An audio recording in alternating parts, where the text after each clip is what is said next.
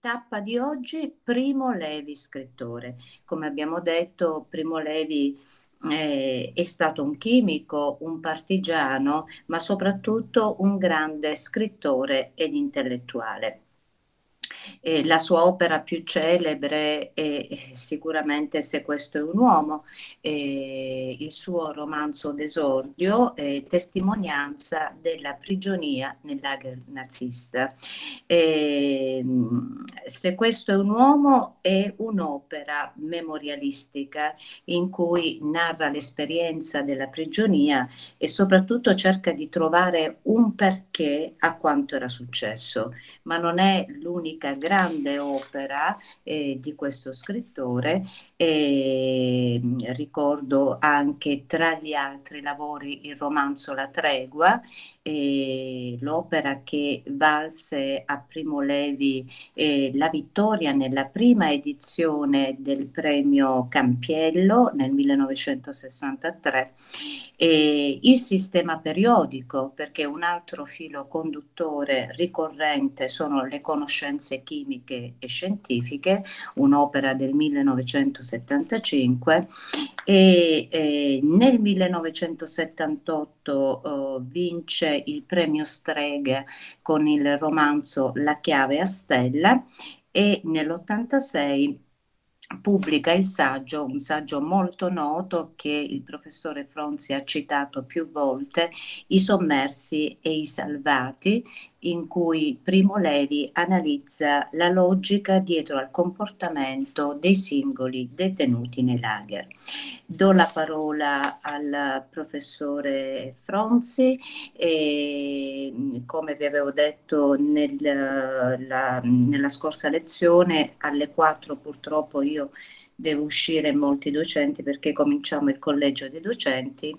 Voi studenti eh, rimarrete fino alla fine della lezione e coordinerà eh, il professore Giuseppe De Donato. Grazie.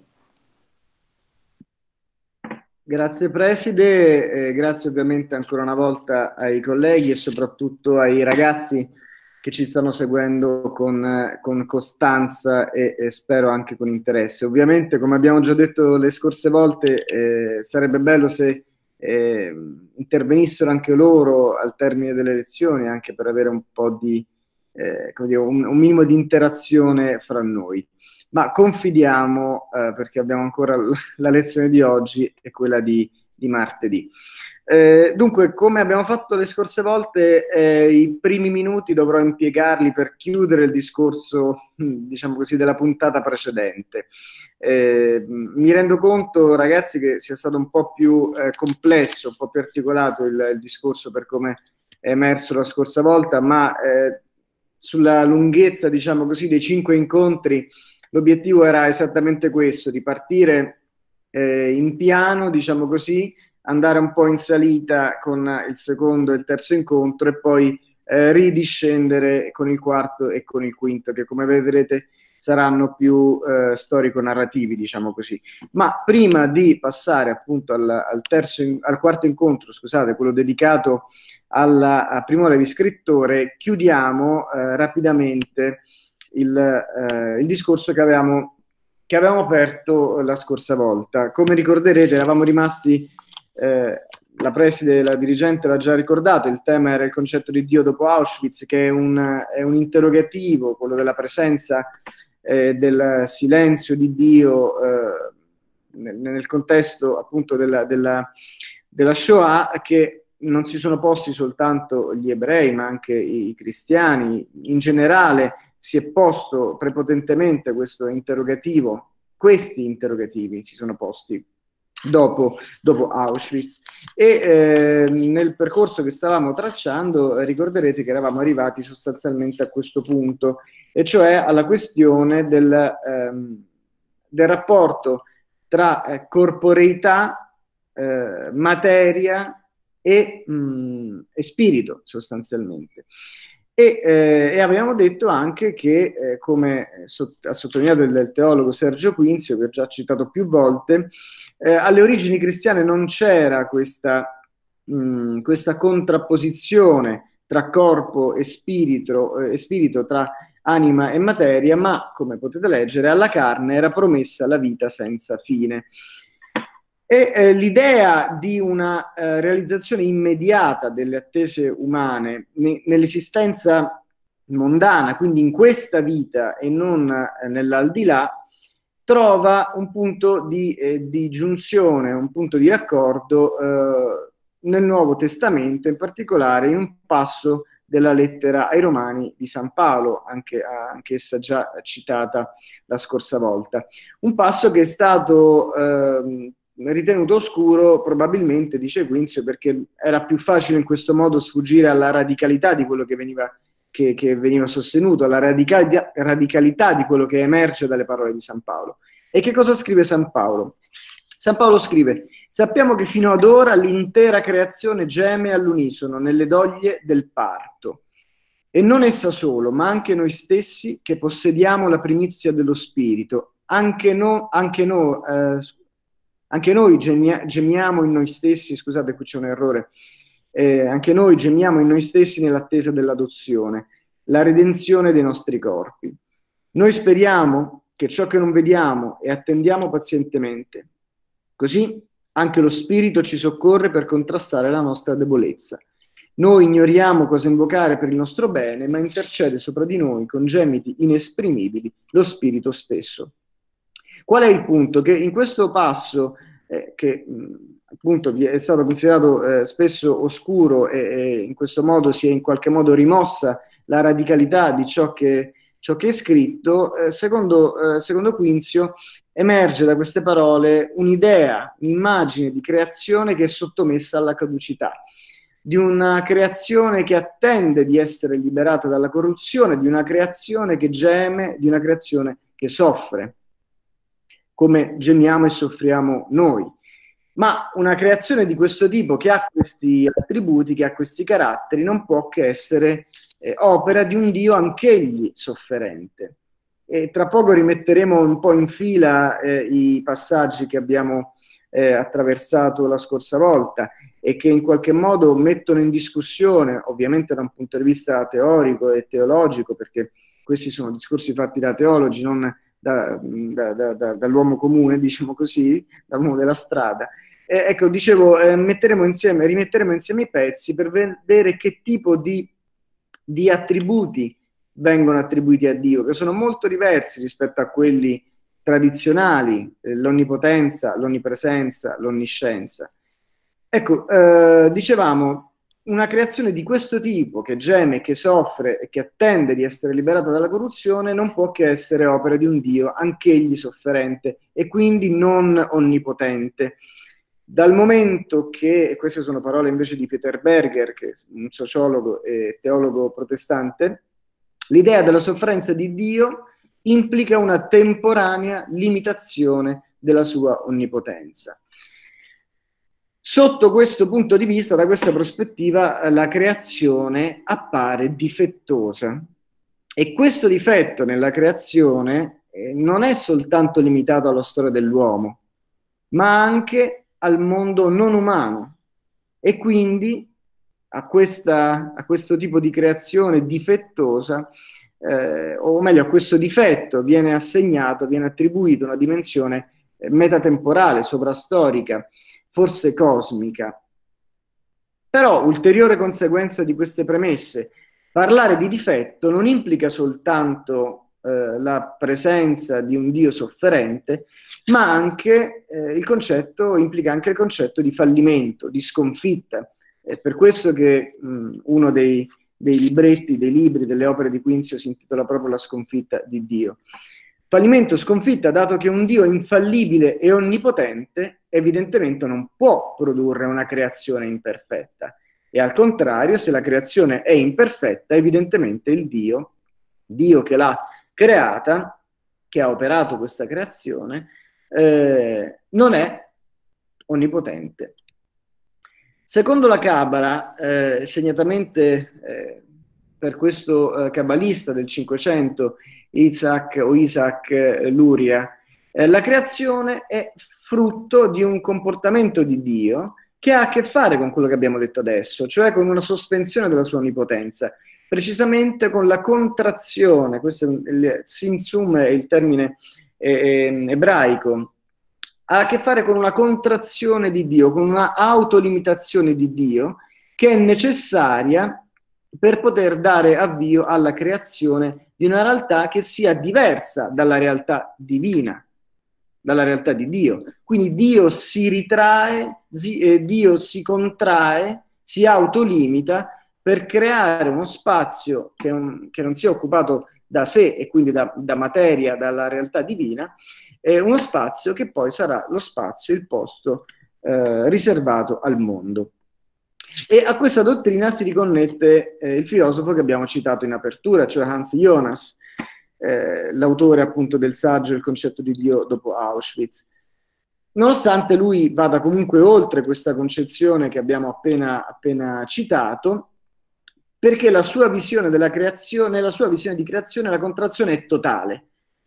Questo significa che l'intero infinito, per Jonas, l'intero infinito si aliena nel finito, grazie proprio al, al proprio potere.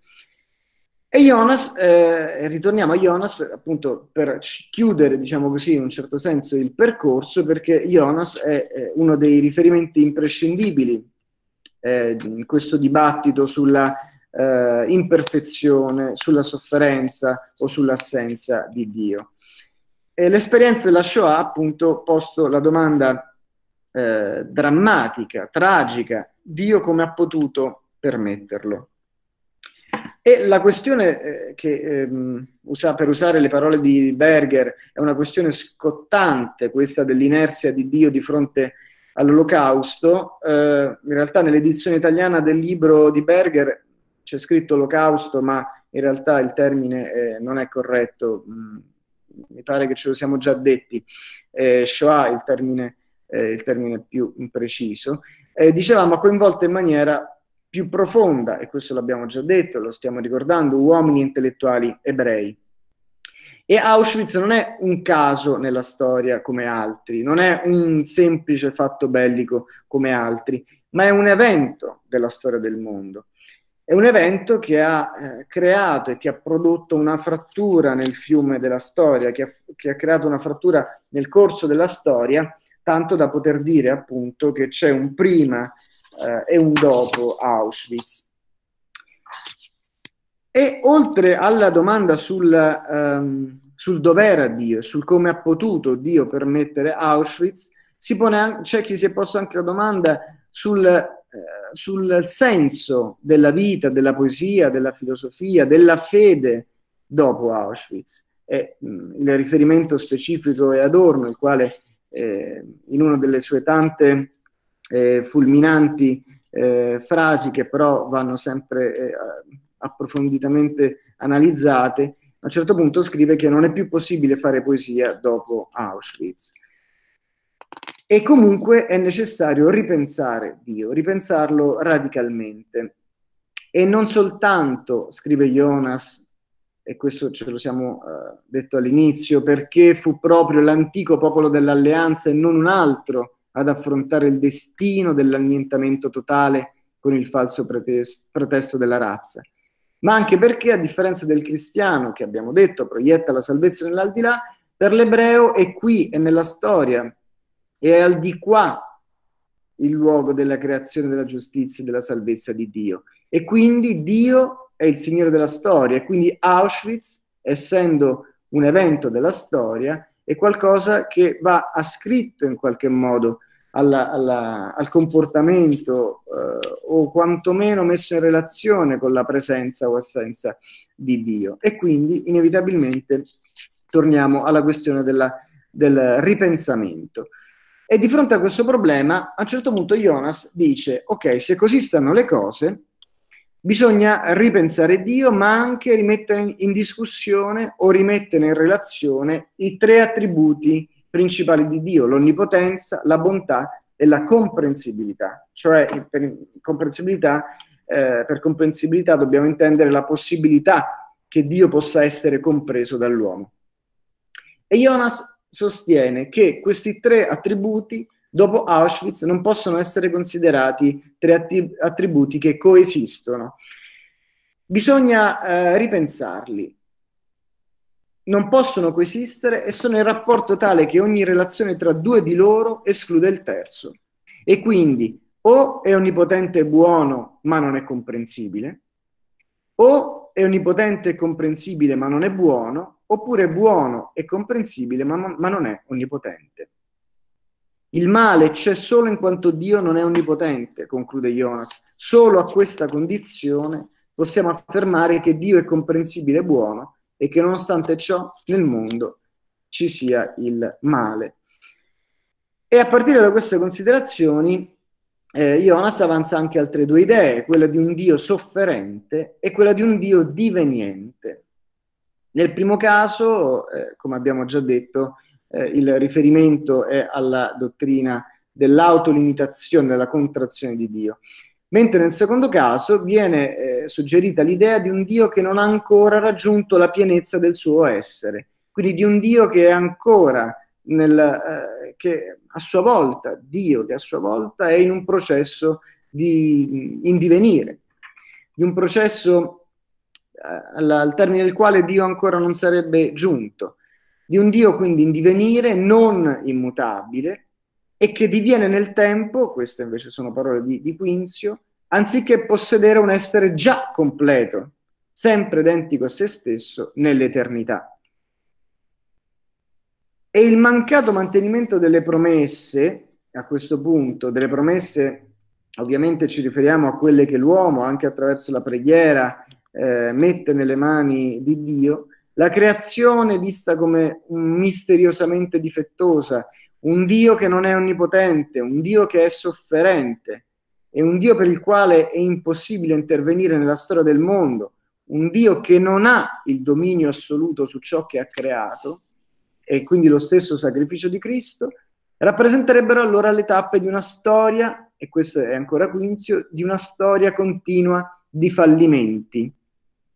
Ma allora se fosse così, si chiede Quinzio, se Dio è questo, con tutte le sue sconfitte, a che cosa può servirci?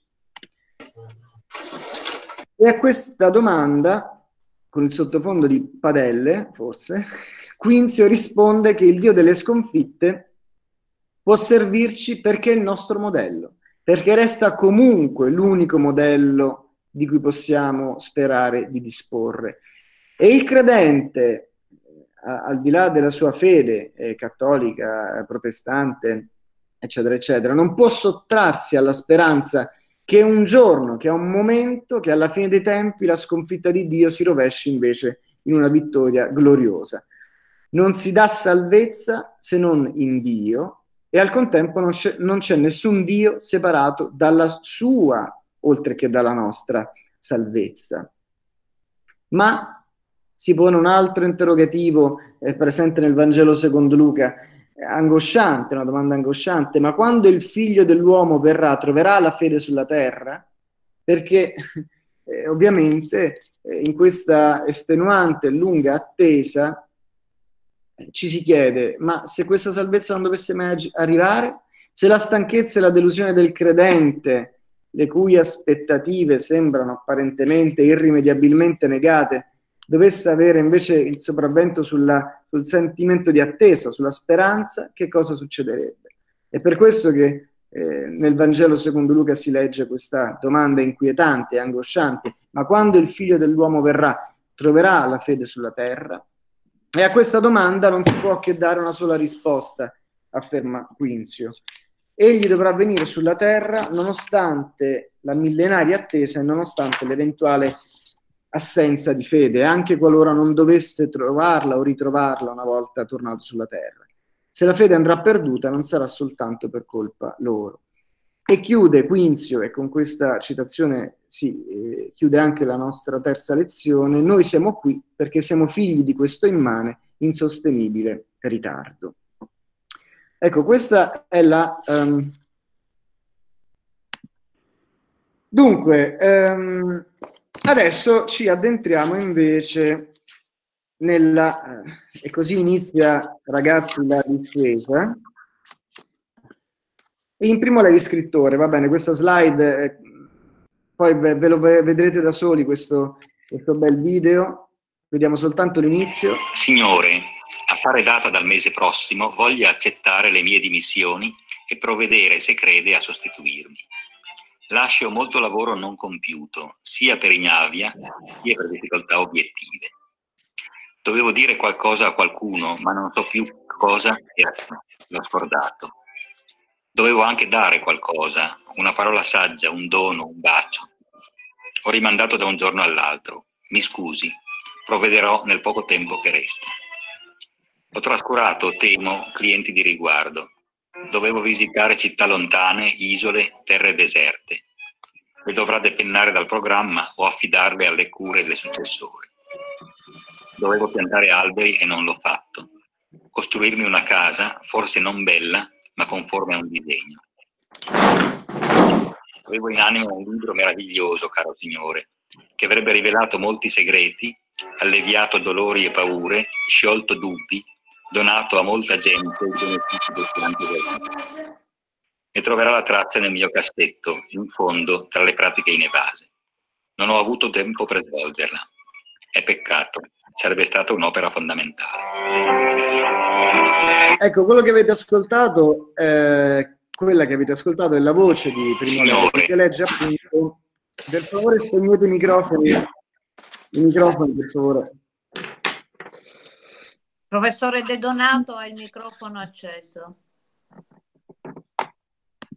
Dicevo, quella che avete ascoltato è la voce di Primo Levi che legge eh, una sua poesia, Le pratiche nevase, pubblicata nella raccolta d'ora incerta dell'84. E eh, con, questa, ehm, con, questa, lettura eh, si apriva eh, una trasmissione radiofonica del 1985 eh, o meglio, con questa, con questa, lettura si apre il documentario eh, che fa riferimento anche a questa poesia. Poesia che appunto mh, si intitola Le pratiche nevase, che, che sono proprio alla fine della, a cui si fa riferimento alla fine della poesia, e, ehm, e, questo documentario si intitola Primo ufficio dell'uomo, i mestieri di Primo Levi. E dalla, eh, dai materiali di approfondimento eh, relativi a questa a questo documentario eh, ho tratto i contenuti di questa prima parte della lezione, e, ehm, mh, a partire appunto da, dalla sua voce e da questa poesia. E primo ufficio dell'uomo eh, è un'espressione che utilizza ehm, Levi in sé questo uomo proprio all'inizio quando scrive a quel tempo non mi era stata ancora insegnata la dottrina che dovevo più tardi rapidamente imparare in lager e, so, e secondo la quale primo ufficio dell'uomo è perseguire i propri scopi con mezzi idonei e chi sbaglia paga. E questa eh, poesia, ehm, come avete visto, ha la forma della lettera di dimissioni che un dipendente scrive al proprio, al proprio datore di lavoro, al proprio principale, nella quale elenca tutto ciò che non ha concluso, tutto ciò che ha lasciato a metà, che non riuscirà a portare a termine, ma che probabilmente rappresentava qualcosa di fondamentale.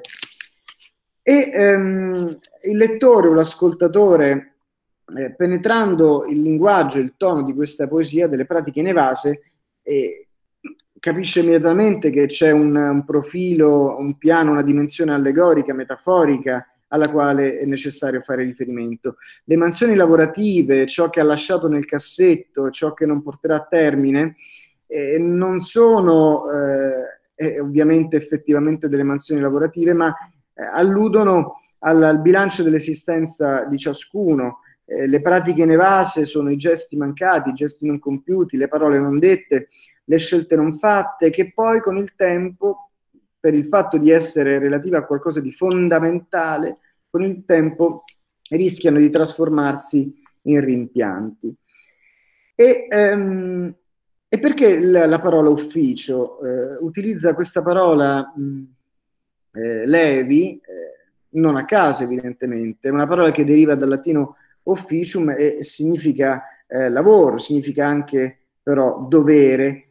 E quindi il primo compito dell'uomo, il primo ufficio dell'uomo, come scrive in sé questo uomo, è quello di perseguire gli obiettivi che si è prefissato, facendolo, come scrive appunto Levi, con i mezzi idonei, e eh, perché partiamo da questo? Perché in effetti ehm, Primo Levi è stato sempre fedele a questo principio. è stato sempre fedele a questo principio sia eh, quando, eh, quando, faceva il chimico, sia quando faceva lo scrittore, eh, sia quando faceva il padre di famiglia e quindi in generale nella sua esistenza.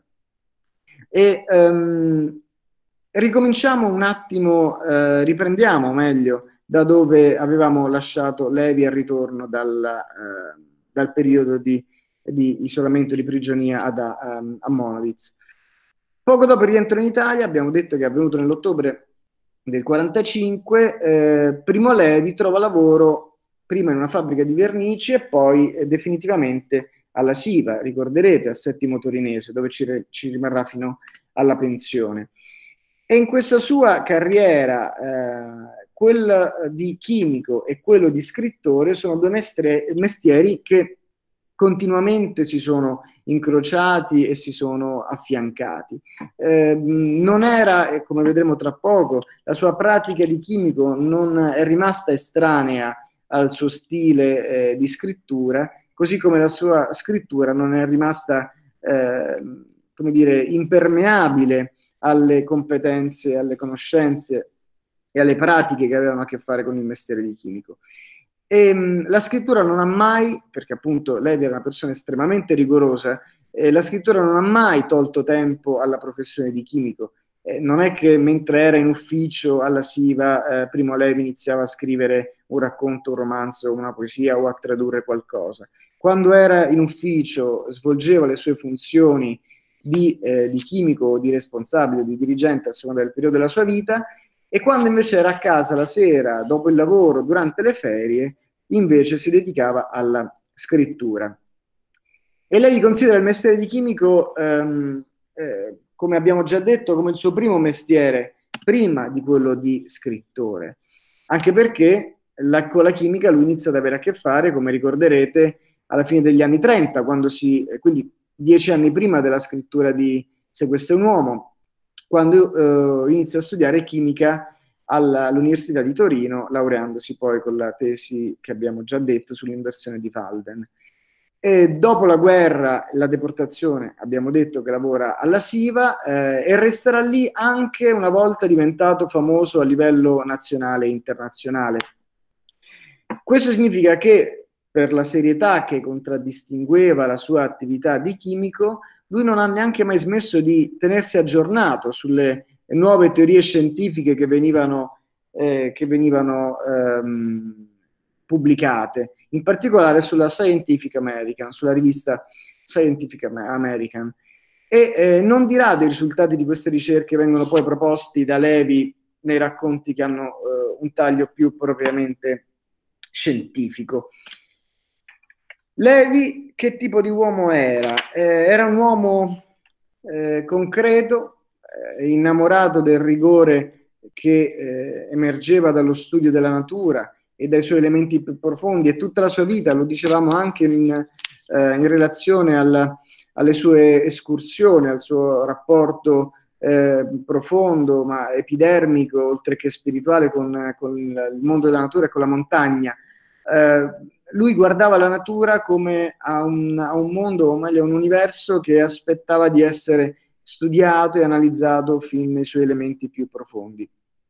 E analizzare il movimento o la stasi a partire dalle sostanze chimiche per lui significava scavare appunto nelle profondità del mondo e quindi anche nelle profondità della vita. Quindi questo approccio, l'atteggiamento che lui aveva da chimico, lo ha mantenuto poi, questo atteggiamento di scavare nelle profondità, di andare alla ricerca dei segreti nelle profondità del mondo, poi lui l'ha mh, come dire, utilizzato anche nell'esperienza di scrittore. E quindi questa attitudine che Levi, ehm, è con questa attitudine che Levi scava nel suo passato, quando ricorda eh, quello che gli è, quello che gli è accaduto eh, durante il periodo della deportazione, ma anche il suo presente nel corso della sua vita e anche nel suo mondo immaginativo. E le due ehm, attività di scrittore e di chimico Levi non le ha mai distinte se non, come dicevamo, per il tempo che a esse dedicava. Quando scriveva, scriveva, quando era alla SIVA, era alla SIVA. Eh, quindi le teneva distinte da un punto di vista del tempo e dell'impegno eh, fisico e mentale, ma poi nella sua testa, nella sua mente e nella sua opera di scrittore le due attività inevitabilmente eh, finivano con il, con il contagiarsi. E lui teneva a evidenziare che la formazione scientifica gli avesse dato delle, dei punti di vista, degli strumenti originali e utili nella sua opera di, di scrittore. Ecco, quindi letteratura e chimica si intrecciano in vari modi ed è una relazione, come dicevamo, bidirezionale. L'una, la letteratura, eh, eh, contaminava, contagiava la chimica e viceversa. E quali sono eh, i punti, diciamo, di maggiore convergenza, di maggiore congiunzione tra la letteratura e la chimica per Levi? Intanto eh, lo scrittore, che è anche chimico, ha a disposizione un vocabolario, delle figure retoriche che gli derivano dalla scienza, che però possono utilmente essere eh, utilizzati anche in campo letterario. Parole come essenza o verbi come distillare, confronti che hanno a che fare con le sostanze, nero come, oppure amaro come, altri aggettivi come vischioso, tenace, greve, fluido, inerte. Sono tutti termini, tutte parole che racchiudono un significato originario che per il chimico hanno eh, una certa valenza semantica, ma che poi eh, possono tornare utili proprio in virtù di questa valenza semantica originaria anche per lo scrittore. Ma non è soltanto questo, un altro elemento è lo stile della scrittura. Il linguaggio scientifico è generalmente sintetico, eh, lineare, ordinato, chiaro, conciso, esatto, eh, meticoloso, ehm, ma ripeto, ordinato, esatto e sintetico, che, proprio, ehm, che sono proprio i caratteri della scrittura di Levi, che tra poco eh, saggeremo leggendo alcune pagine suoi, di alcuni dei suoi, dei suoi libri. Un altro, un ulteriore elemento che lega le due dimensioni è il carattere pubblico della scienza e della letteratura, perché secondo Levi la scrittura, così come la scienza, eh, è un mestiere che va messo al servizio degli altri, rappresenta un servizio pubblico, un servizio che viene svolto per gli altri, non, non solo per se stessi, e lo diceva appunto probabilmente anche in virtù della sua esperienza di scrittore testimone, perché è evidente che ehm, probabilmente anche da un punto di vista eh, psicologico, psicoanalitico, non lo so, la scrittura eh, che ha rappresentato per lui un'urgenza dopo il rientro alla vita normale, che ovviamente rientro alla vita normale non è potuto mai essere. Ecco, ma l'urgenza di scrivere non era legata soltanto alla necessità di testimoniare e quindi di raccontare agli altri, ma probabilmente alla necessità interiore di, di dare forma, eh, di verbalizzare un'esperienza eh, assolutamente eh, tragica. E quindi, diciamo così, servizio privato, se vogliamo dire così, e servizio pubblico eh, si, eh, si, intrecciano in quella prima opera di testimonianza. Ma questo si colloca all'interno di una idea generale, eh, che è appunto quella per la quale eh, sia la scienza che la, che la scrittura hanno un rilievo e un carattere pubblico. Bisogna comunicare e farsi comprendere. E in effetti la scrittura di, di, di Levi è immediatamente comprensibile. Quarto elemento che ehm, tiene, come dire, che crea una relazione particolare tra la chimica, eh, la chimica, e la scrittura è il fatto che la chimica ha a che fare con i cambiamenti della, della materia, con la trasmutazione della materia, con il passaggio da uno stato a un altro, con la trasformazione delle sostanze. E questa attitudine che ha il chimico con i cambiamenti della materia è in qualche modo la stessa che ha lo scrittore con le parole, con le parole, con la materia che maneggia, che plasma. E mh, mm, si legge nella chiave a stella, che è uno dei, dei più importanti eh, libri che ha scritto Levi, che è stato già ricordato dalla dirigente, pubblicato nel 78. Scrive Levi, del resto non è detto che l'aver trascorso più di 30 anni nel mestiere di cucire insieme, di cucire insieme lunghe molecole presumibilmente utili al prossimo e nel mestiere parallelo di convincere il prossimo che le mie molecole gli erano effettivamente utili, non insegni nulla sul modo di cucire insieme parole e idee e sulle proprietà generali e speciali dei tuoi colleghi uomini. Quindi l'attenzione per la scienza, per, eh, per l'innovazione tecnologica, per le diverse facce e forme del progresso sono presenti nella esperienza lavorativa di Levi, così come sono presenti nelle, nelle opere di Levi.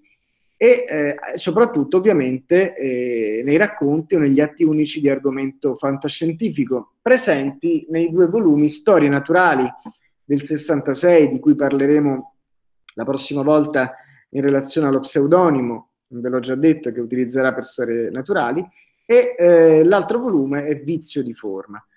Nel primo di questi due, in ehm, Storie naturali, c'è un atto unico che si intitola Il versificatore, nel quale lei gioca un po', ma con, con occhio raffinato sull'ambivalenza eh, della scienza e della tecnologia, che può essere qualcosa di utile, ma anche qualcosa di perfettamente inutile. E in questo eh, versificatore Levi descrive il funzionamento di una ipotetica, immaginaria macchina rivoluzionaria che è capace di comporre automaticamente poesie.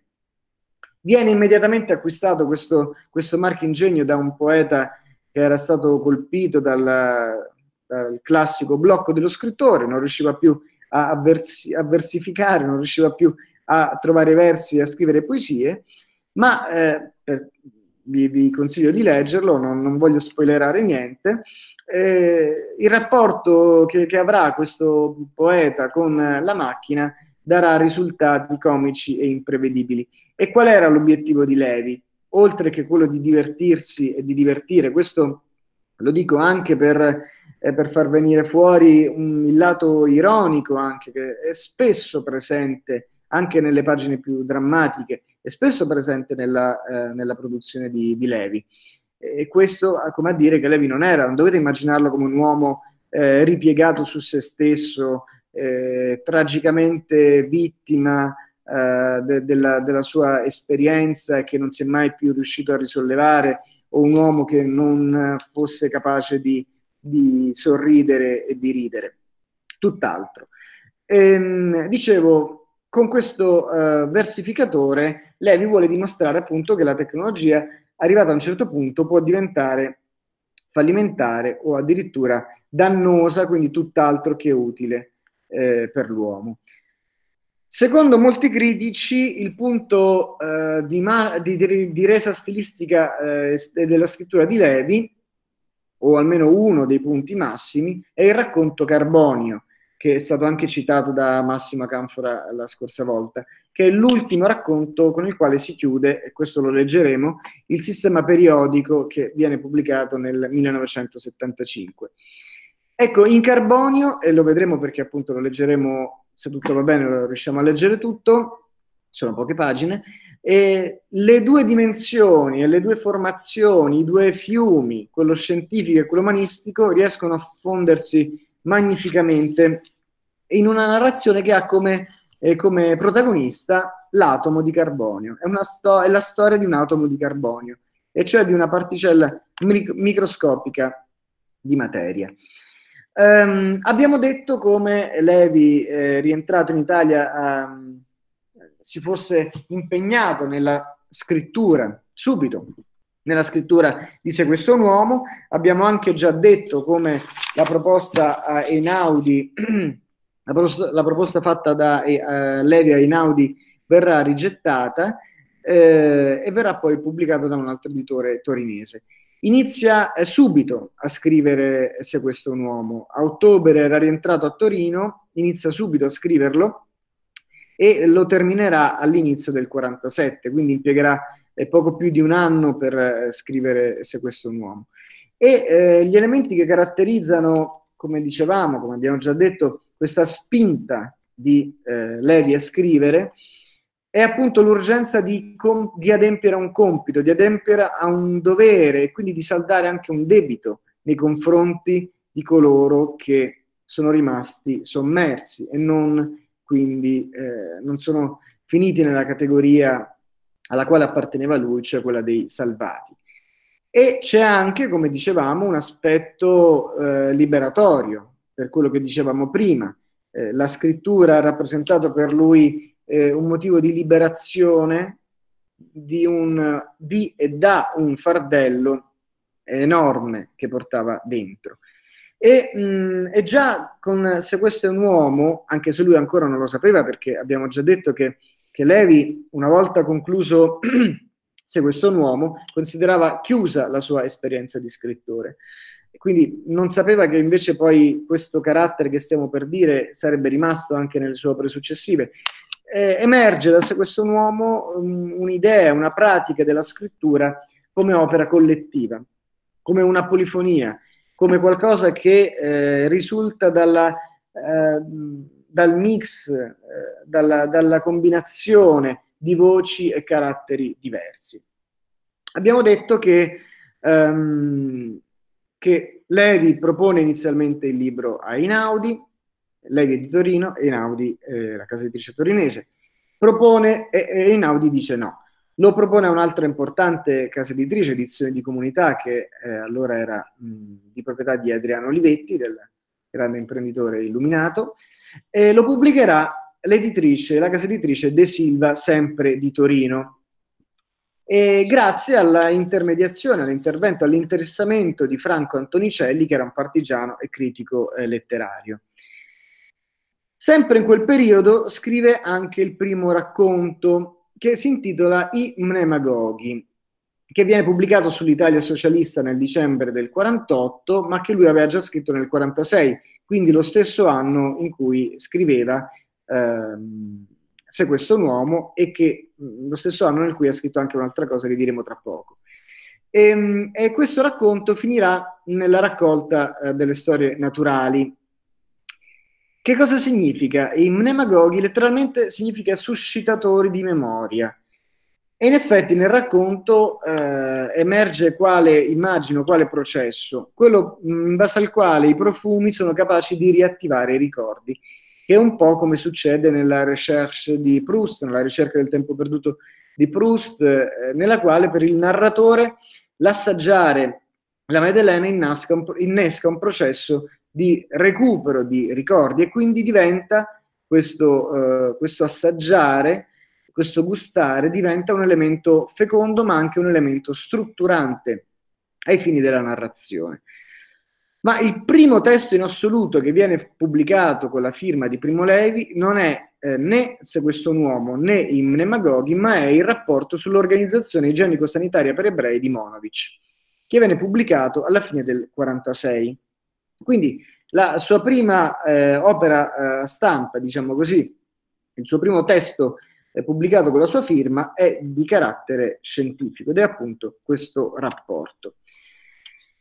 L'abbiamo già detto, eh, se questo uomo non è un libro di sola e semplice testimonianza, sicuramente Levi si interroga su come eh, sia potuto succedere, su che cosa abbia potuto originare quella, quella immane tragedia e analizza e studia il comportamento umano, ma non lo farà soltanto in sé questo uomo, e ehm, procederà con questa analisi davvero come se fosse in un laboratorio, lo, lo, ce ne accorgeremo eh, tra poco quando leggeremo alcune pagine di Se questo un uomo.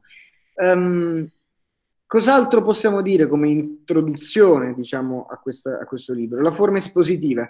Come abbiamo detto, la scrittura e lo stile è quello dell'uomo di scienza, quindi esatto, mh, eh, ordinato, essenziale, e quindi non è una forma espositiva eh, dal carattere, dal tono assertivo, dal tono dimostrativo, confermativo o dogmatico, ma è una descrizione del reale, che a volte sembra addirittura neutra, ma eh, in realtà non lo è affatto.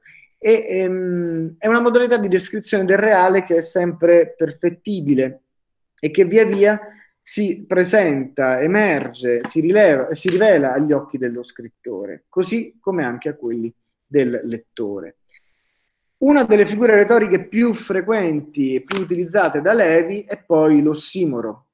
E sarà in effetti una figura retorica che tornerà molto spesso nella, eh, nella produzione di Levi, ma anche la ripetizione, la ripetizione di temi, di episodi, che a volte vengono richiamati tra di loro in uno sviluppo che è allo stesso tempo orizzontale, ma eh, in certi casi circolare delle storie. Un'altra caratteristica è il tempo verbale utilizzato, che è il tempo presente.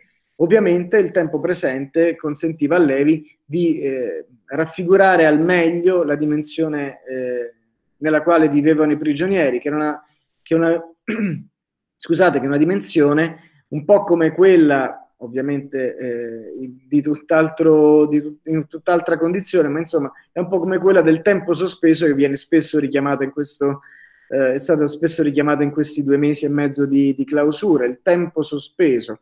Quando si è in una dimensione, in una condizione nella quale eh, il tempo sembra non passare, ci accorgiamo che sta passando, ma non riusciamo a capire quanto ne sia passato. E quindi una dimensione in qualche modo quasi atemporale.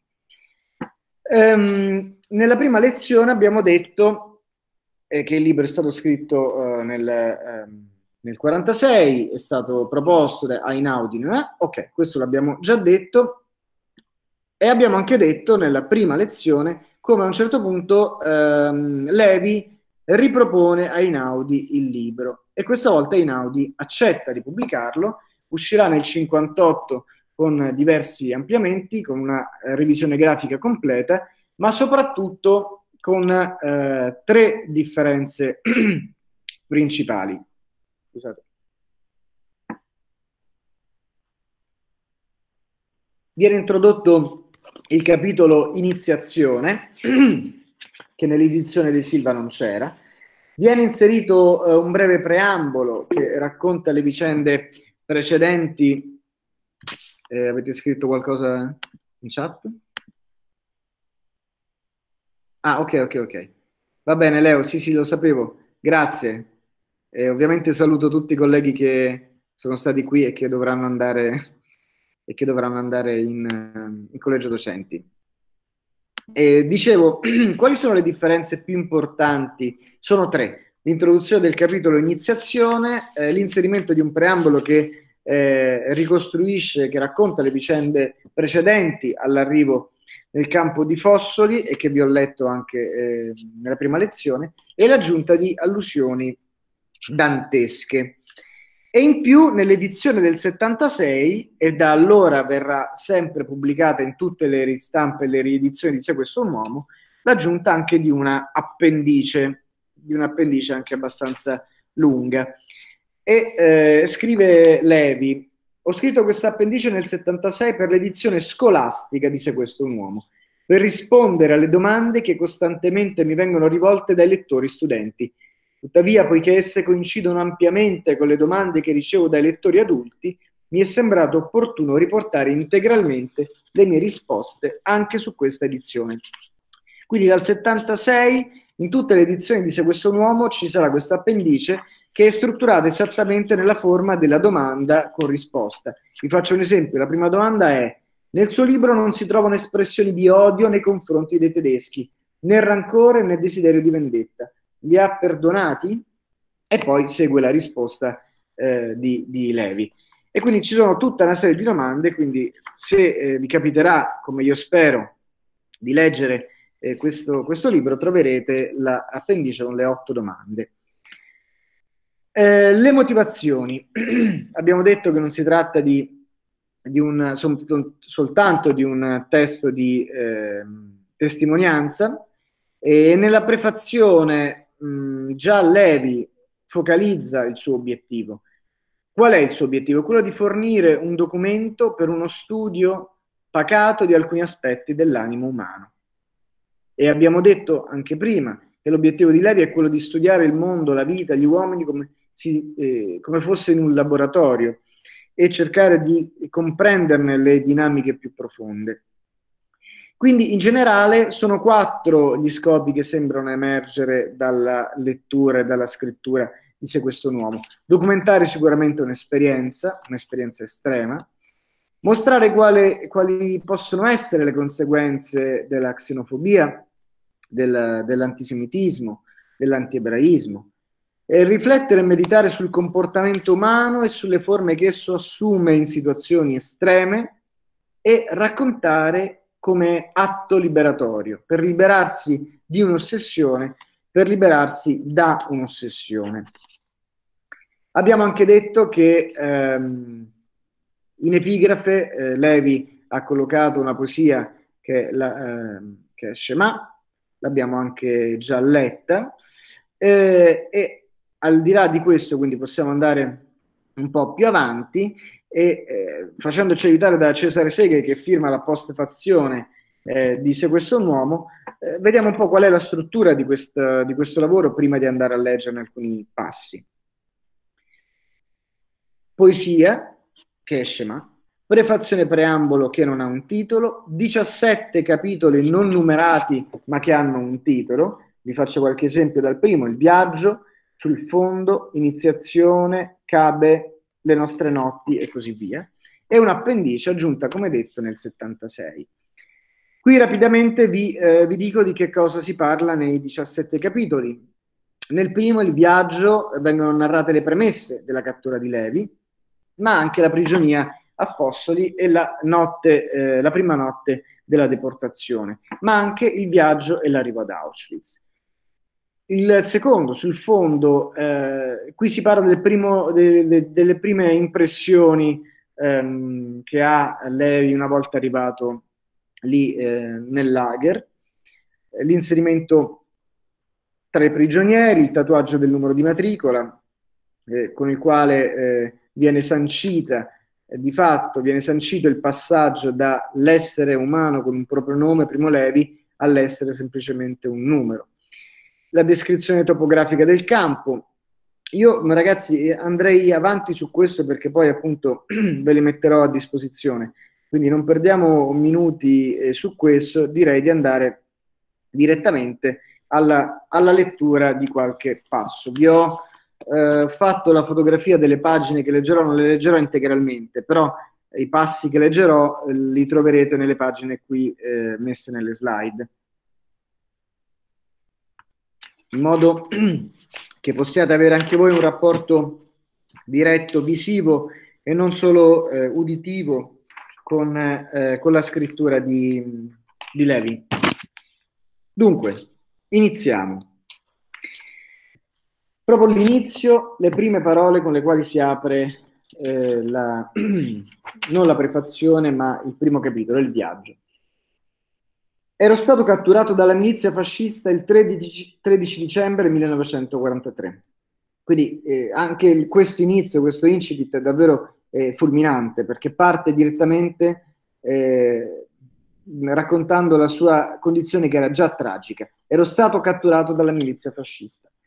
Avevo 24 anni, poco senno, nessuna esperienza e una decisa propensione favorita dal regime di segregazione a cui da quattro anni le leggi razziali mi avevano ridotto, a vivere in un mio mondo scarsamente reale, popolato da civili fantasmi cartesiani, da sincere amicizie maschili e da amicizie femminili e esangui.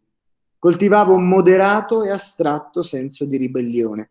Anche questo vi dà uh, l'idea e la misura del carattere di, di Levi, il quale si attribuisce un certo senso di ribellione, ma moderato e astratto.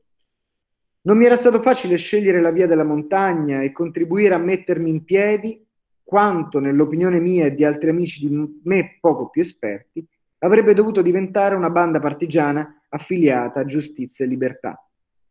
Mancavano i contatti, le armi, i quattrini e l'esperienza per procurarseli. Mancavano gli uomini capaci ed eravamo invece sommersi da un diluvio di gente squalificata, in buona e in malafede, che arrivava lassù dalla pianura in cerca di un'organizzazione inesistente, di quadri, di armi o anche solo di protezione, di un nascondiglio, di un fuoco, di un paio di scarpe. Poi passiamo qui a pagina 7. Soltanto una minoranza di ingenui e di illusi si ostinò nella speranza noi avevamo parlato a lungo con i profughi polacchi e croati e sapevamo che cosa voleva dire partire. Nei riguardi dei condannati a morte, la tradizione prescrive un austero cerimoniale, atto a mettere in evidenza come ogni passione e ogni collera siano ormai spente e come l'atto di giustizia non rappresenti che un triste dovere verso la società, tale da poter accompagnarsi a pietà verso la vittima da parte dello stesso giustiziere. Si evita perciò al condannato ogni cura estranea, gli si concede la solitudine e, ove lo desideri, ogni conforto spirituale. Si procura, insomma, che egli non senta intorno a sé l'odio o l'arbitrio, ma la necessità e la giustizia e insieme con la punizione il perdono. Ma a noi, scrive lei, questo non fu concesso, perché eravamo troppi e il tempo era poco. E poi finalmente di che cosa avremmo dovuto pentirci, di che cosa venir perdonati. Il commissario italiano dispose dunque che tutti i servizi continuassero a funzionare fino all'annunzio definitivo. La cucina rimase perciò in efficienza, le corvée di pulizia lavorarono come di consueto e perfino i maestri e i professori della piccola scuola tennero lezione a sera, come ogni giorno ma ai bambini quella sera non fu assegnato compito. E venne la notte, e fu una notte tale che si conobbe che occhi umani non avrebbero dovuto assistervi e sopravvivere. Tutti sentirono questo, nessuno dei guardiani, né italiani né tedeschi, ebbe animo di venire a vedere che cosa fanno gli uomini quando sanno di dover morire.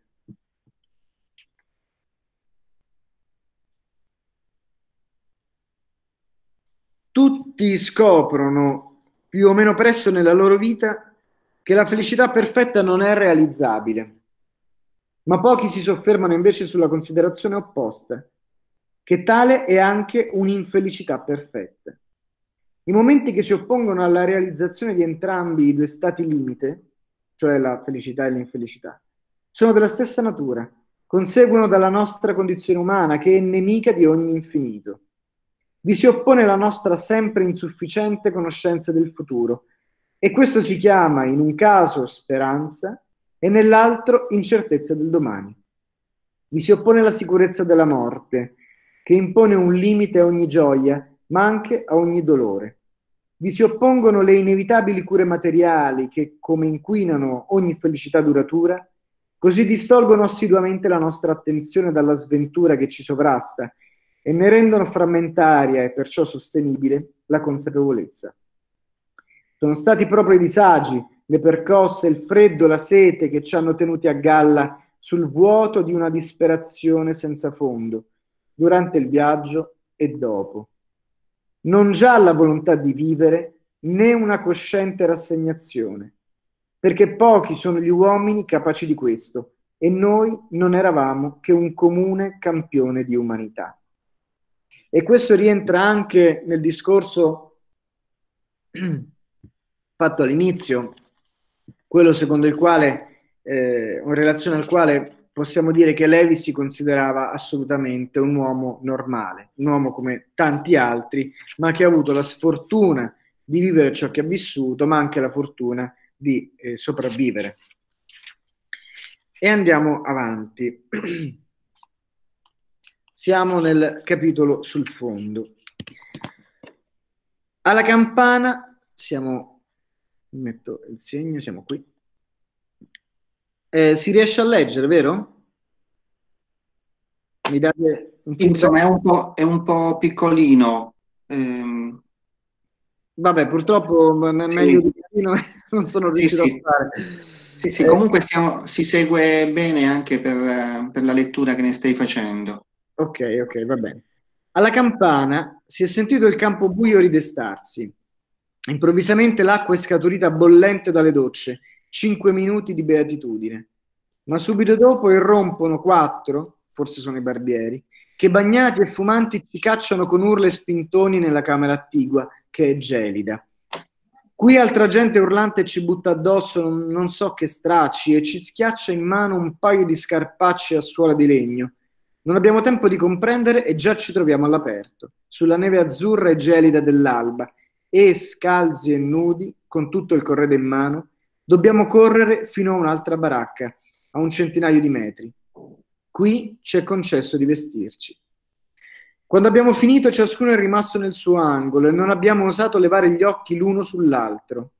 Non c'è ove specchiarsi, ma il nostro aspetto ci sta dinanzi riflesso in cento visi lividi, in cento pupazzi miserabili e sordidi eccoci trasformati nei fantasmi intravisti ieri sera.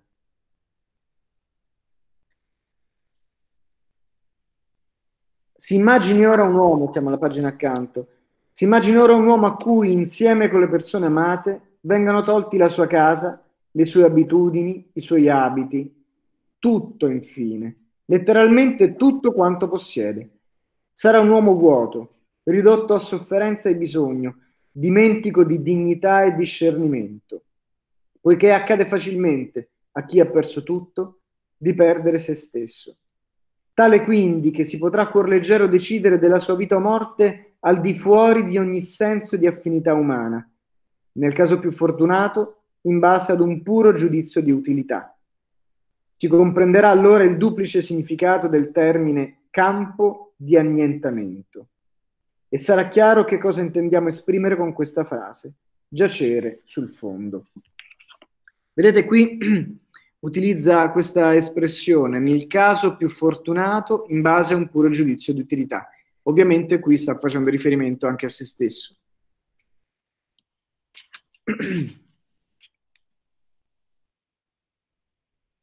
Siamo qui.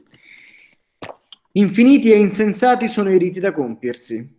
Ogni giorno al mattino bisogna fare il letto, perfettamente piano e liscio, spalmarsi gli zoccoli fangosi e repellenti con l'apposito grasso da macchina, raschiare via dagli abiti le macchie di fango.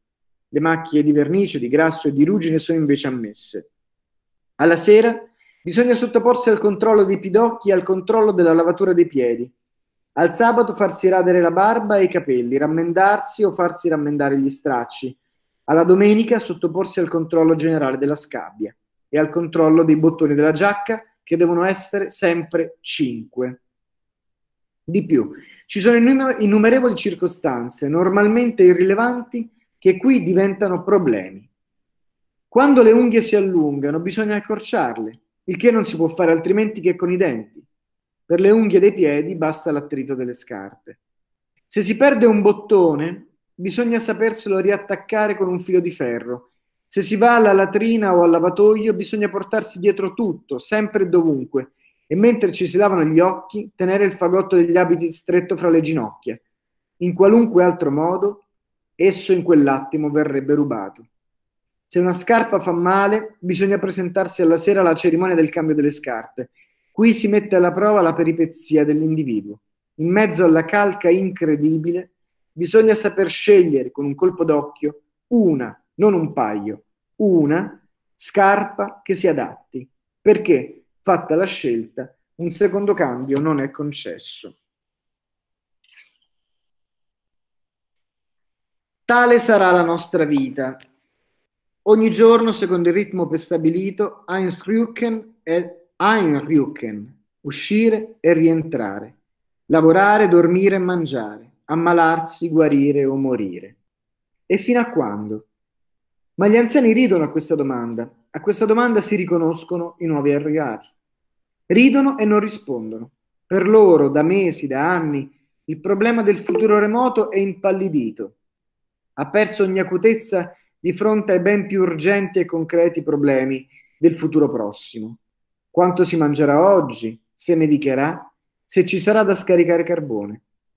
Se fossimo ragionevoli dovremmo rassegnarci a questa evidenza, che il nostro destino è perfettamente inconoscibile, che ogni congettura è arbitraria ed esattamente priva di fondamento reale. Ma ragionevoli gli uomini sono assai raramente quando è in gioco il loro proprio destino. Essi preferiscono in ogni caso le posizioni estreme, perciò, a seconda del loro carattere, fra di noi gli uni si sono convinti immediatamente che tutto è perduto, che qui non si può vivere, che la fine è certa e prossima, gli altri che, per quanto dura sia la vita che ci attende, la salvezza è probabile e non lontana.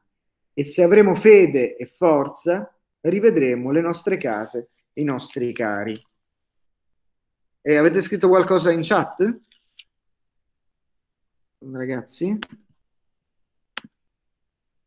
No, anche per le, le No, no, sì, per la presenza. Mm. Leggiamo ancora qualche altro passo perché mh, ho fatto una selezione, ovviamente mh, li ho letti integralmente, ma ho fatto una, una, selezione di alcuni passaggi secondo me più significativi.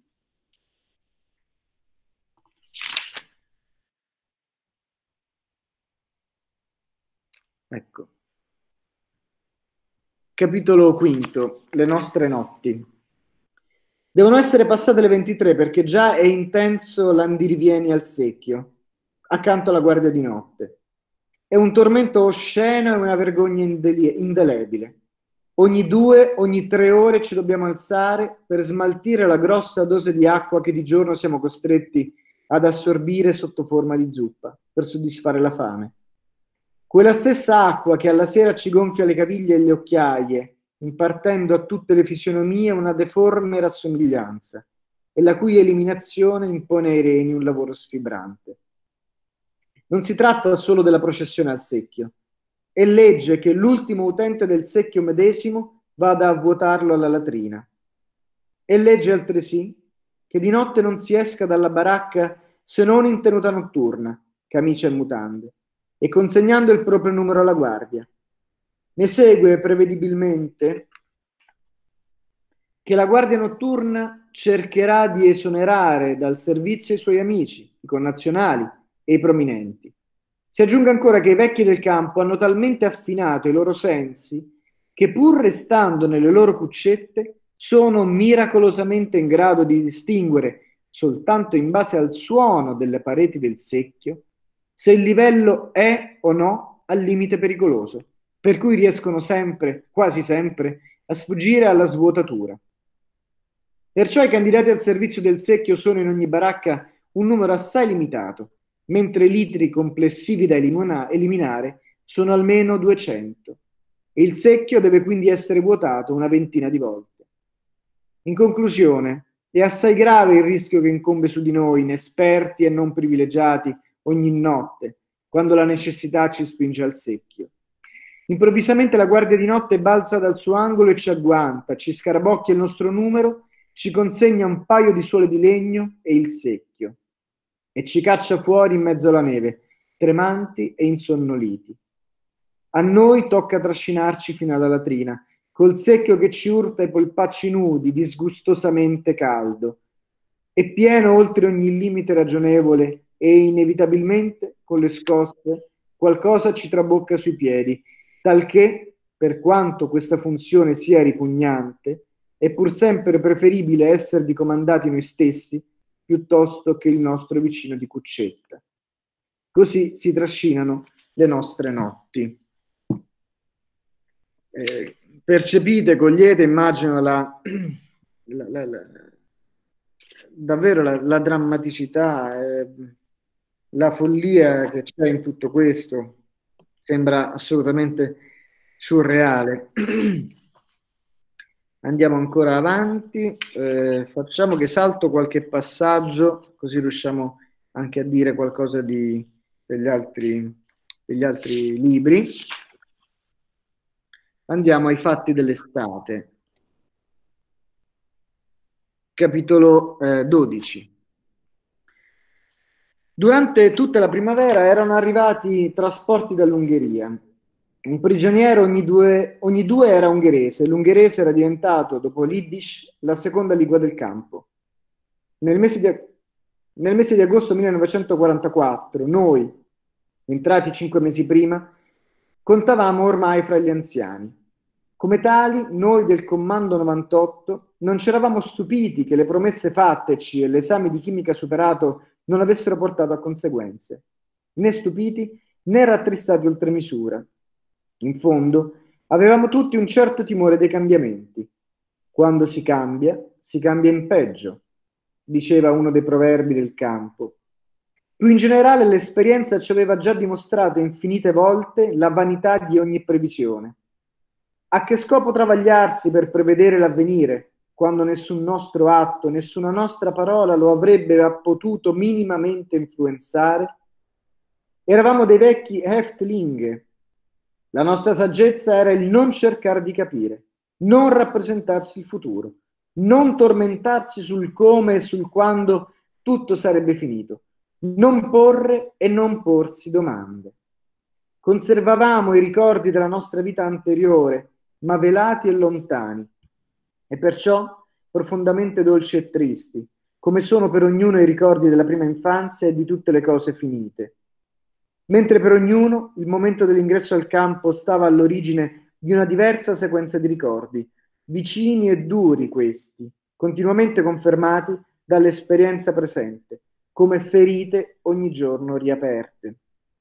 Vedete come in queste righe Levi in qualche modo eh, descriva, ma come vedete in modo estremamente essenziale e, e lucido, ordinato, la condizione di chi non, non, può e forse non deve per sopravvivere eh, psicologicamente, emotivamente, non può e non deve eh, farsi alcun programma, non può immaginare quale potrebbe essere il suo futuro anche nell'immediato e vive di un presente che deve sperare che sia sempre uguale, perché come si diceva con quel proverbio, quando si cambia, si cambia in peggio. Vive del presente e, e rivive il passato ripensandoci come si ripensa a un ricordo con la dolcezza e la tristezza di qualcosa che ci si è lasciati molto alle spalle, molto indietro. E eh, chiuderei con questa lettura a salti, diciamo così, di Se questo uomo, non leggendovi la fine perché non voglio spoilerare, quindi magari evitate di leggerla anche voi, eh, perché ce l'avete qui. Ma siamo a pagina 169. 26 gennaio, quindi il giorno prima della liberazione del campo di Auschwitz. Noi giacevamo in un mondo di morti e di larve, L'ultima traccia di civiltà era sparita intorno a noi e dentro di noi. L'opera di bestializzazione intrapresa dai tedeschi trionfanti era stata portata a compimento dai tedeschi disfatti. È uomo chi uccide, è uomo chi fa o subisce ingiustizia. Non è uomo chi, perso ogni ritegno, divide il letto con un cadavere. Chi ha atteso che il suo vicino finisse di morire per togliergli un quarto di pane è, pur senza sua colpa, più lontano dal modello dell'uomo pensante che il più rozzo pigmeo e il sadico più atroce. Parte del nostro esistere ha sede nelle anime di chi ci accosta. Ecco perché è non umana l'esperienza di chi ha vissuto giorni in cui l'uomo è stato una cosa agli occhi dell'uomo, quindi non un uomo ma una cosa. Noi tre ne fummo in gran parte immuni e ce ne dobbiamo mutua gratitudine. Perciò la mia amicizia con Charles res- resisterà al tempo. Sta parlando di Charles e Arthur. Um, ma a migliaia di metri sopra di noi, negli squarci fra le nuvole grigie, si svolgevano i complicati miracoli dei duelli aerei. Sopra noi, nudi, impotenti, inermi, uomini del nostro tempo cercavano la reciproca morte coi più raffinati strumenti. Un loro gesto del dito poteva provocare la distruzione del campo intero, annientare migliaia di uomini, mentre la somma di tutte le nostre energie e volontà non sarebbe bastata a prolungare di un minuto la vita di uno solo di noi. Insomma, vi sarete resi conto della intensità delle parole e del racconto di, di Levi. Andiamo avanti, andiamo avanti, eh, almeno vediamo con, con, la tregua, perché eh, i libri di cui volevo parlare sono appunto Se questo uomo, La tregua, eh, Il sistema periodico e I sommersi e i salvati. Ma in maniera più sintetica però ehm, in relazione a questi altri libri. Ecco, dopo aver scritto e pubblicato Se questo uomo, come dicevamo, Levi considerava finita la sua ehm, esperienza di scrittore. La considerava esaurita, cosa che invece non sarà, l'abbiamo già detto. Nel 62 inizia la stesura della tregua, la tregua che è un diario, un avventuroso, una sorta di sequel, sequel anzi, del, del, di Se questo un uomo, e copre il, il periodo successivo alla liberazione dei campi, quindi dal 27 gennaio che è la data con cui si chiude Se questo uomo, al 19 ottobre del 45, quindi fino a quando Levi rientra in Italia. E Levi, tanto per cambiare, è molto preciso, molto ordinato nella scrittura, scrive diligentemente un capitolo al mese e conduce la sua vita che è tornata a essere normale, ma con ovviamente l'inevitabile carico emotivo eh, e psicologico eh, legato all'esperienza mh, mm, del campo di concentramento. È diviso tra famiglia, fabbrica e scrittura. E scrive Primo Levi rispetto alla tregua. La tregua è stato scritto 14 anni dopo Se questo è un uomo. È un libro più consapevole, più letterario e molto più profondamente elaborato, anche come linguaggio. Racconta cose vere ma filtrate. È stato preceduto da innumerevoli versioni verbali. Intendo dire, ogni avventura era stata da me raccontata molte volte a persone di cultura diversa, spesso a ragazzi delle scuole, e aggiustata a poco a poco in modo tale da provocare le reazioni più favorevoli. E lo vedremo adesso leggendo qualche passo come effettivamente il linguaggio sia più eh, controllato, più consapevole, come scrive Levi, più letterario. Dicevamo che un sequel disse questo uomo, tanto che i primi due capitoli e una parte, la parte iniziale del terzo capitolo, si svolgono ancora uh, ad Auschwitz. Il titolo non sarebbe dovuto essere la tregua, ma Vento Alto, e il riferimento è a una scena descritta nel primo capitolo della tregua, che si intitola per l'appunto Il disgelo. E eh, come è costruito? Il romanzo è costruito su una sequenza di brevi racconti, anche in questo caso ogni, ogni capitolo, ogni racconto ha un titolo, il disgelo, il Campo Grande, il Greco, eh, Katowice, Cesare, Victori Dei, eccetera, eccetera. E, ehm, e, sono messi in relazione, in continuità, da un elemento che è l'elemento unificante, cioè quello del viaggio, per l'appunto. Non solo, eh, l'esperienza di questo viaggio eh, Levic la vuole presentare anche eh, con un'immagine, precisamente con una cartina geografica, che è una cartina geografica che ci mostra qual è stato il percorso di Levi dal campo di sterminio fino a Torino. Ed è questa. Riuscite a vederla? Mm. Sì, sì, sì, sì. Ecco, come vedete c'è eh, la cartina, c'è una linea eh, in grassetto, una linea nera che esattamente coincide con il percorso fatto da, da Primo Levi.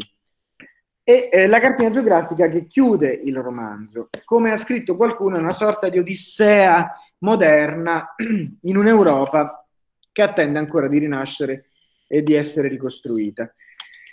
Eh, Ecco Franco Antonicelli che abbiamo nominato prima. Anche la tregua è articolata in 17 capitoli ehm, ed è Franco Antonicelli, che era un letterato, un poeta, un critico letterario, che è uno dei primi a credere nelle qualità letterarie di, di Levi, della scrittura di Levi. È, il, è, uno dei primi a cogliere nella scrittura di Levi qualcosa appunto di, eh, di, di importante, di rilevante, di personale di specifico. E eh, in un articolo uscito sulla stampa eh, scrive eh, questo: Se questo è un uomo erano pagine che emanavano una luce triste di purgatorio, in effetti l'avrete sicuramente colta nelle, nei passi che abbiamo letto. Quello, scrive Antonicelli mh, presentando la tregua, questo è un articolo che esce eh, qualche giorno prima del lancio della tregua, eh, se questo un uomo, scrive Antonicelli, sembrava il libro di una penitenza. Accusava senza chiedere vendetta, senza chiedere nemmeno giustizia. La tregua è la continuazione di quel racconto di una penitenza. E scrive Antonicelli, dopo una piccola Iliade, che sarebbe se questo un uomo, una piccola Odissea, Dopo la guerra, il Nostos, il ritorno. Si poteva continuare un libro come quel primo? Non doveva in quel senso restare il Levi l'autore di un solo libro?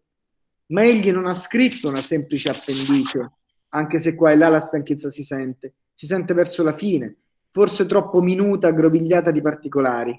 Come capita a chi arriva a casa con la memoria troppo eccitata e perciò senza capacità di selezione.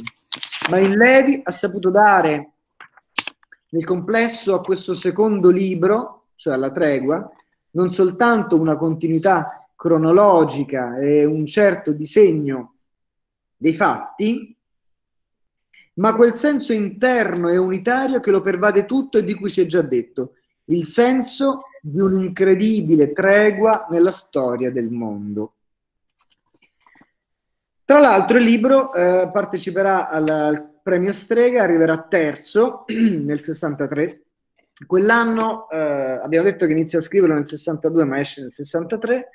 Eh, quella, in quell'edizione lì il premio Strega verrà vinto da Natalia Ginsburg con il famosissimo libro Lessico familiare e al secondo posto invece si piazzerà un, un romanzo di Tommaso Landolfi. Ecco, con, con la tregua Levi viene eh, in qualche modo riconosciuto come scrittore. È il libro che consacrerà Levi come scrittore. Se questo uomo non verrà considerato il primo libro al quale poi ne è seguito un secondo, un po' come diceva Antonicelli, la tregua verrà considerato un altro libro, anche se in qualche modo è collegato al primo perché abbiamo detto che è una sorta di prosecuzione perché racconta i fatti accaduti dopo la liberazione del campo, però viene comunque considerato un altro libro, frutto delle capacità narrative di uno scrittore che veniva considerato comunque uno scrittore non professionale, non professionista, ma dotato di una scrittura asciutta, tanto essenziale quanto penetrante. E allora vediamola questa scrittura penetrante, leggendo qualche passo da, dalla tregua. Giusto qualcosa e poi ci, ci fermiamo e chiudiamo eh, poi eh, martedì. Non posso ricordare esattamente come e quando il mio greco scaturì dal nulla. In quei giorni, in quei luoghi, poco dopo il passaggio del fronte, un vento alto, ecco l'espressione vento alto che sarebbe dovuto essere eh, il titolo del, del libro. Un vento alto spirava sulla faccia della terra. Il mondo intorno a noi sembrava ritornato al caos primigenio e brulicava di esemplari umani scaleni, difettivi, abnormi, e ciascuno di essi si agitava, in moti ciechi o deliberati, in ricerca affannosa della propria sede, della propria sfera, come poeticamente si narra delle particelle dei quattro elementi nelle cosmogonie degli antichi. Travolto anch'io dal turbine, in una gelida notte, dopo una copiosa nevicata, molte ore prima dell'alba, mi trovai dunque caricato su di una carretta militare a cavalli, insieme con una decina di compagni che non conoscevo.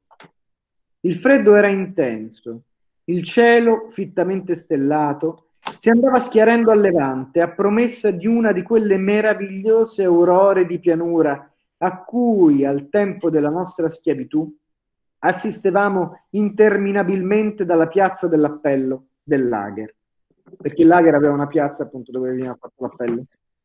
Il nostro guida e scorta era un soldato russo. Sedeva a cassetta cantando alle stelle con voce spiegata e rivolgendosi ogni tanto ai cavalli in quel loro modo stranamente affettuoso con inflessioni gentili e lunghe frasi modulate.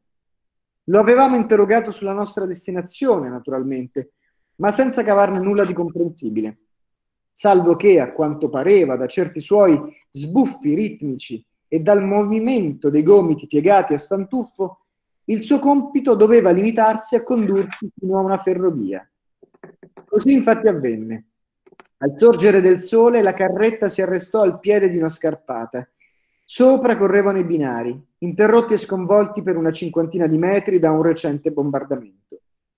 Il soldato ci indicò uno dei due tronconi, ci aiutò a scendere dal carro ed era necessario. Il viaggio era durato quasi due ore, il carro era piccolo e molti di noi, per la posizione incomoda e freddo penetrante, erano talmente intorpiditi da non potersi muovere. Ci salutò con gioviali parole incomprensibili, voltò i cavalli e se ne andò cantando dolcemente.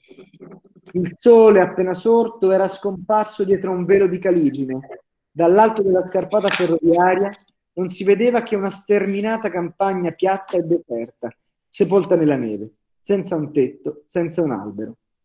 Passarono altre ore, nessuno di noi aveva un orologio. E poi andiamo a verso sud,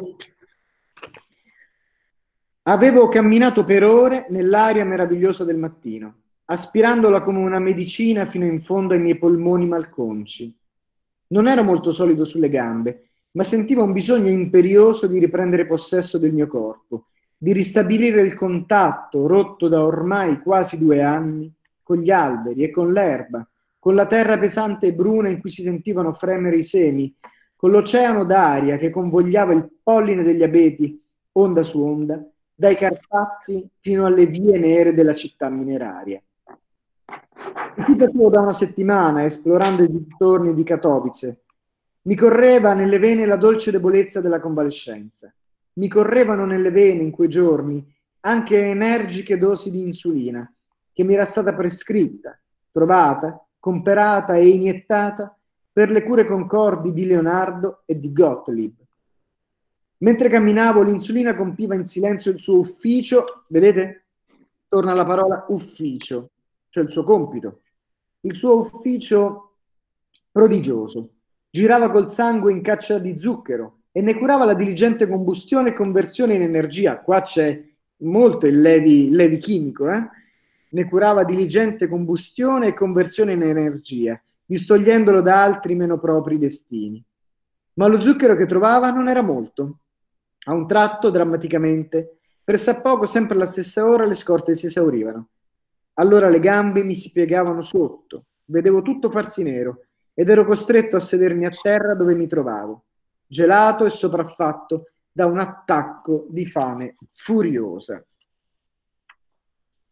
e vi leggo l'ultimo passo, ne salto un altro, uno di quelli che avevo selezionato, il, il, momento in cui alla fine eh, racconta il suo arrivo a Torino.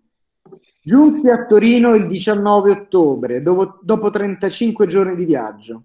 La casa era in piedi, tutti i familiari vivi, nessuno mi aspettava. Ero gonfio, barbuto e lacero e stentai a farmi riconoscere. Ritrovai gli amici pieni di vita, il calore della mente sicura, la concretezza del lavoro quotidiano, la gioia liberatrice del raccontare. Anche qui vedete il, il carattere liberatorio della testimonianza. Ritrovai un letto largo e pulito che a sera, attimo di terrore, sera uguale attimo di terrore. Cedette morbido sotto il mio peso ma solo dopo molti mesi svanì in me l'abitudine di camminare con lo sguardo fisso al suolo, come per cercarvi qualcosa da mangiare o da intascare presto e vendere per pane. E non ha cessato di visitarmi a intervalli ora fitti, ora radi, un sogno pieno di spavento. Stiamo parlando di un libro scritto nel 62, quindi sono passati molti anni, eppure continuano a intervalli ora fitti, ora radi, continuano i sogni, certi sogni a fargli visita. È un sogno entro un altro sogno, vario nei particolari, unico nella sostanza. Sono a tavola con la famiglia, o con amici, o al lavoro, o in una campagna verde. In un ambiente, insomma, placido e disteso, apparentemente privo di tensione e di pena.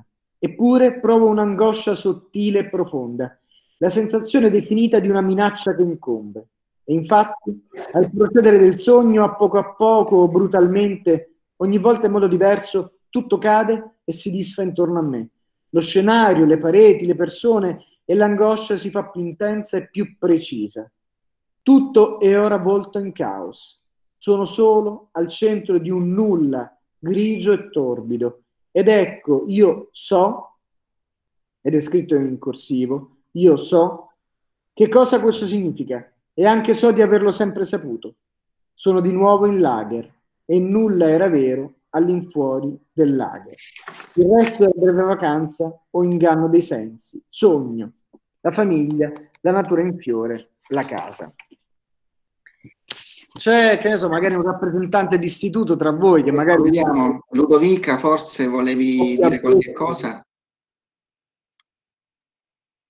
Ludovica?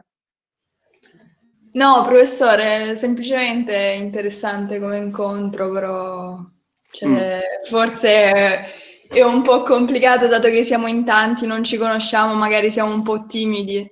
okay, no, l'importante è che la cosa vi stia interessando. Io credo che Eh, io credo che mh, per la vostra formazione, per il vostro percorso di studi, l'idea che ha avuto la dirigente della scuola sia stata un'idea, al di là de- dei contenuti che sto cercando di trasferirvi io, insomma, io ovviamente sto facendo il possibile per, farvi, per darvi un quadro ampio nel quale eh, possano co- coesistere, coabitare storia, letteratura, eh, teologia, insomma arte, come vedremo anche la prossima volta, eh, per darvi un quadro ampio, non solo di Levi, ma anche di tutto il contesto, dello sfondo, diciamo così, su cui si muove, si è mosso Levi. E sì. dicevo, questo credo che sia stata un'idea, in, eh, un'intuizione importante da parte della vostra dirigente, della vostra scuola, quella di aver pensato a un ciclo di incontri dedicati a, a Levi. Giacomo, io vorrei Giacomo, vorrei mettere in evidenza la preziosità di quella ripresa che hai fatto all'inizio del tema della volta scorsa, soffermandoti in modo particolare sullo sviluppo delle riflessioni su Dio dopo Auschwitz e in modo particolare ehm, su questo aspetto, ehm, in modo particolare del pensiero di Jonas, perché ehm, noi a scuola, un po' tutti i docenti, inseriamo Jonas all'interno del nostro percorso, però ci soffermiamo soprattutto sull'altro aspetto, quello del principio responsabilità. Invece avere questo, questa apertura anche su questo uh, su quest'altra tematica è stato a integrazione anche di quello che facciamo ordinariamente.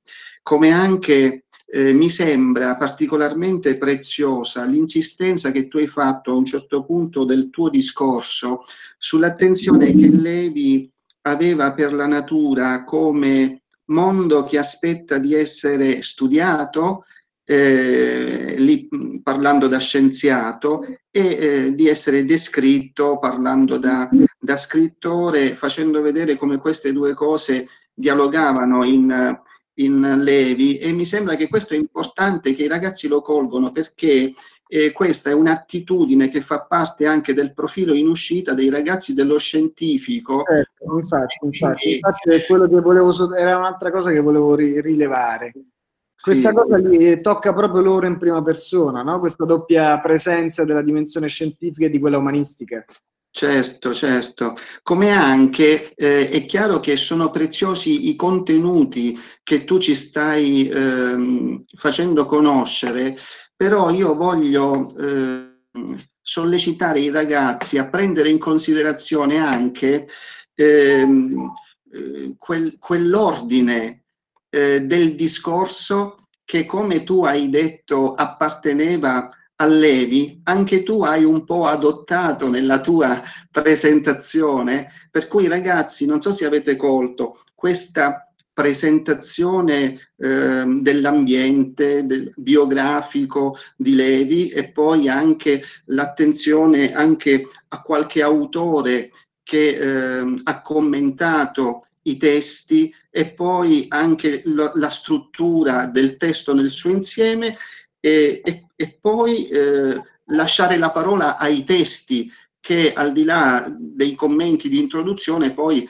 parlano da soli, avete visto quanto sono toccanti. No, ti trovi Giacomo? Assolutamente sì, ma infatti quando appunto eh, dovevamo discutere, ne abbiamo discusso anche eh, insieme, no, Giuseppe, oltre che con la, con la dirigente, quando abbiamo dovuto ideare ho dovuto un po' pensare a come strutturare eh, questo percorso, eh, la, la, prima domanda che mi sono posto è eh, che cosa, quali argomenti toccare e in che modo metterli in ordine.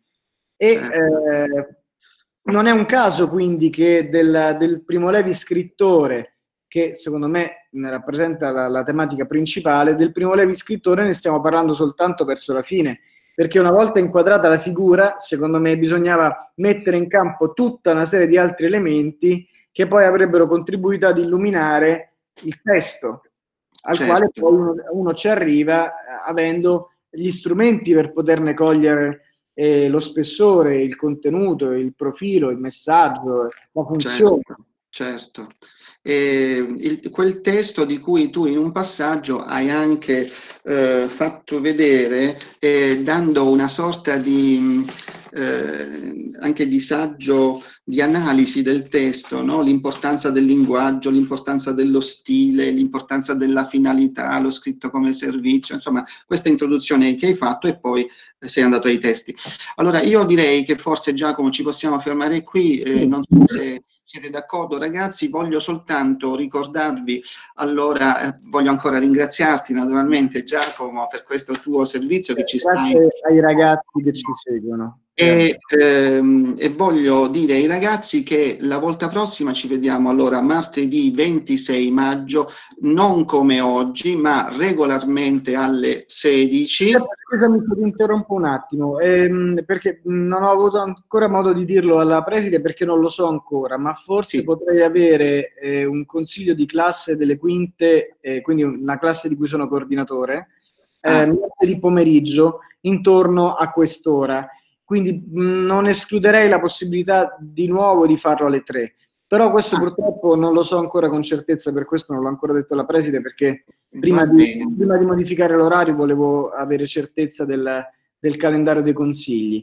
Magari diremo, per, diremo ai ragazzi o alle 3 o alle 4. Insomma. Sì, allora ragazzi rimaniamo che avrete la comunicazione ufficiale e poi come insomma è capitato questo richiamo lo avrete ehm, per mail eh, e, e, quindi saprete quando vi dovete collegare. Intanto colgo l'occasione anche per ricordare che in coda ai cinque appuntamenti con il professore Fronzi eh, che appunto si, con, si concluderanno eh, martedì 26. In coda poi noi avremo un altro appuntamento che fa parte del nostro progetto e che ehm, vedrà come nostro ospite il professore Daniele De Luca, questo incontro è del, dell'Università eh, del Salento, e ehm, su ebrei, fascismo e Shoah, quindi si, si colloca proprio in continuità no? anche con quello che il professore Fronzi ci ha, eh, ci ha presentato e questo incontro sarà eh, venerdì 29 maggio alle 16 e con questo incontro poi noi concluderemo i nostri appuntamenti. Allora, a questo punto eh, ricordatevi di mettere la presenza se ancora non l'avete messa e grazie Giacomo, grazie al professore Lezzi, grazie a tutti voi ragazzi per la partecipazione che state dimostrando e buon pomeriggio a tutti. Grazie a voi ragazzi e grazie a, ai colleghi del Donato e, e, e Lezzi. Ci vediamo martedì. Buon a martedì. Ciao a tutti. Ciao, ciao, ciao. ciao.